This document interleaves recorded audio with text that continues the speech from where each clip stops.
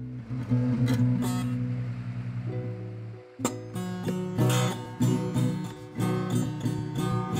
going to take you to my dungeon cave.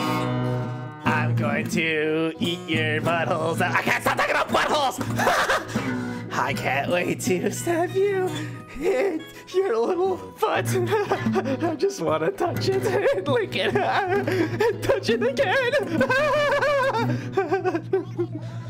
Come here, Chris. You could look like you two could be brothers. Are you brothers? Because that'd be kind of really cool. Tell me your brothers. Tell me your brothers. Tell me your brothers. I love you. I watch you sleep.